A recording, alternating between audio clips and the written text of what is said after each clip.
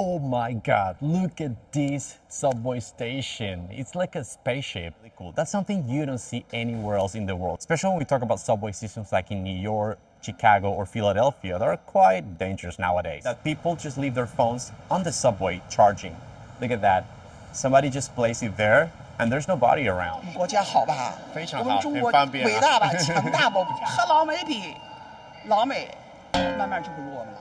Hello everyone, today we are coming to Xi'an. It's a city as modern or convenient as Singapore or Tokyo, way safer than metropolis like New York or Chicago. America great again. And today we're going to explore their subway system, one of the most extensive in China and the world.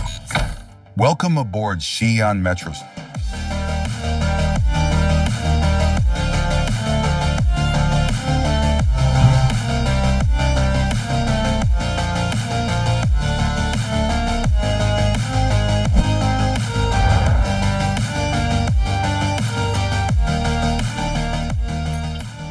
China's subway system exploded in growth basically because the country made it a top priority, but also they had the money, the manpower, and the system that let them build it fast, really fast.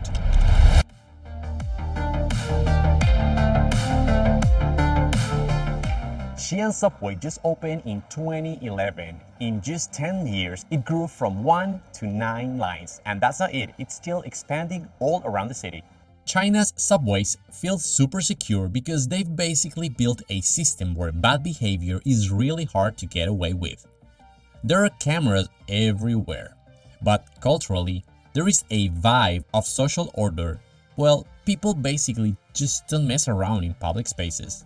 A teen boy beat up by a random mob on a subway platform, and an older woman sitting on a subway bench when a suspect smeared human feces all over her. Pictured a man being violently shoved onto the tracks from behind in an unprovoked attack. These kind of security checks is what makes China subways so safe because you're not allowed to enter with guns. until the older of the two men pulled a gun with the deafening echo of gunfire underground.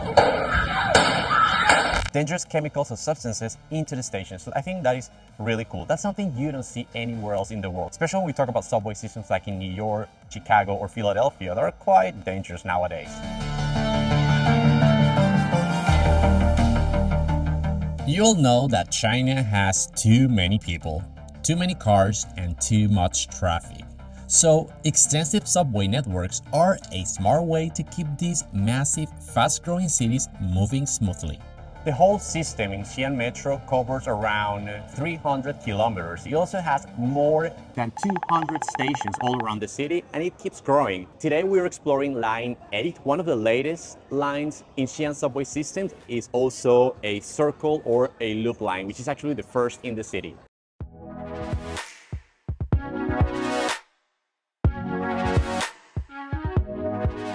Oh my god, look at this subway station. It's like a spaceship. Hard to believe this is actually a subway station, but this is what you get to see here in modern metro systems in China. This beautiful design, clean, spacious, safe, serving a lot of people, but also beautiful. They just come and enjoy these facilities as if it was like an amusement park, taking pictures, enjoying while riding a subway. Hard to believe.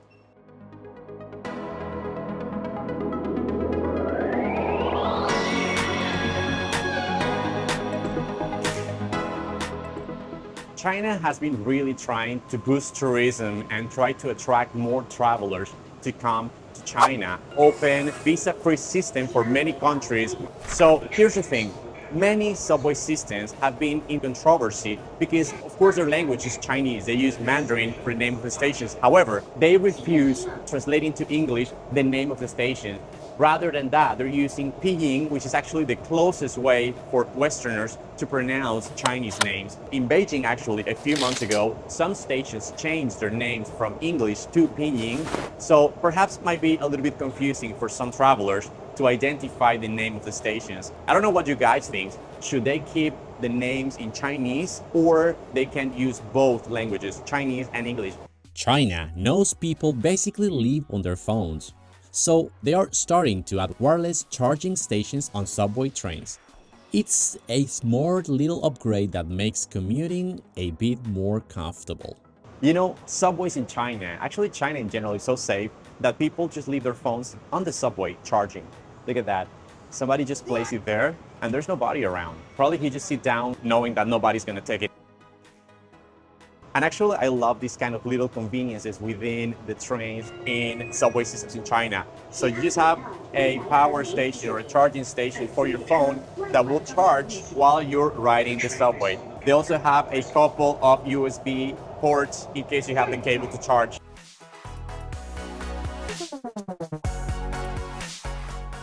China has been making a big push to add toilets to subway stations. Some places even have smart restrooms with things like occupancy indicators or auto cleaning features. This is the subway bathroom. Quite clean, very new, and available for every user of the metro system in Xi'an.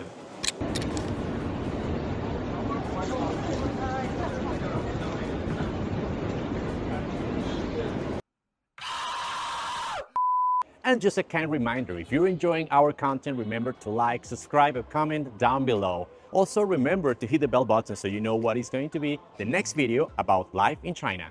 China is really stepping up its game when it comes to subway station design. It's not just about getting people from point A to point B anymore. They want the stations themselves to feel like a part of the city's identity. Subway stations here in China are also a touristic attraction and we have here some ladies taking pictures in the subway because yeah, the design is so striking, it's so cool that they have become a touristic attraction themselves. So people just come here to ride the subway, enjoy the design, the beautiful lights, and even make videos and take pictures like me. You know, everywhere I go in China, I love visiting their new subway stations. I think this infrastructure, other than serving people for transportation, are now becoming something quite iconic of every modern city. So again, they're clean, they're safe, they're spacious.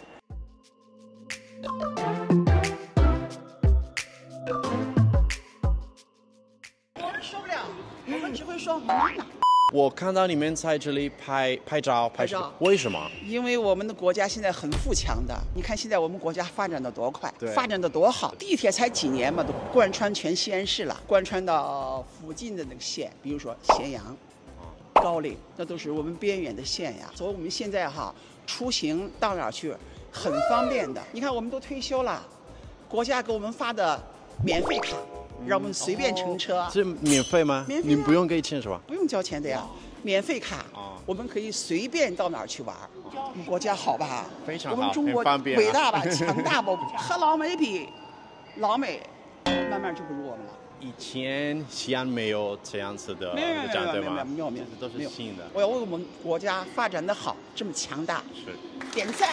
安全，我们国家多安全。对啊，啊，你看我们出来，你看一点问题都没有。本来我们国家原来穷的时候，像这老年人哈，活到六十岁，六十岁，都好像就就就古来稀了。结果现在呢，你看我们都活到八十多、九十多的，多的是。我们六十岁还算是青壮年呢，现在。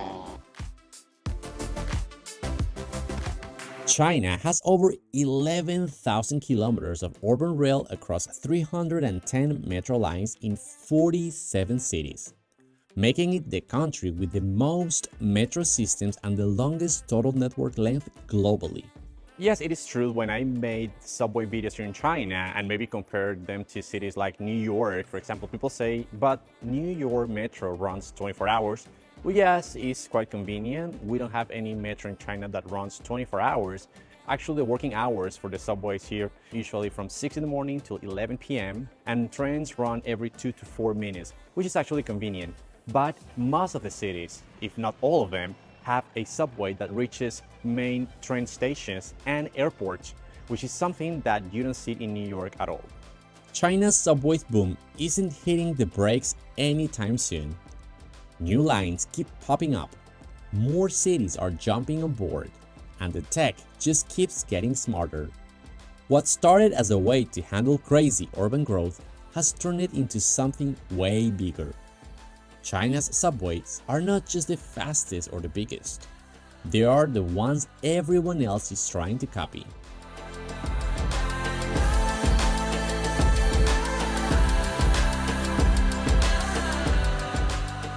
There are actually a lot of people who use this system every day. Around 3 million people here in the city of Xi'an are riding the subway.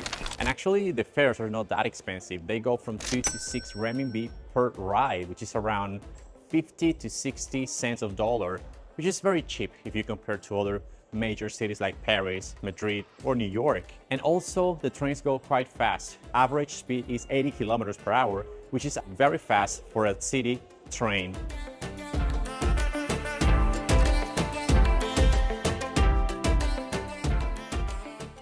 This is another one of the coolest stations of this metro system in Xi'an.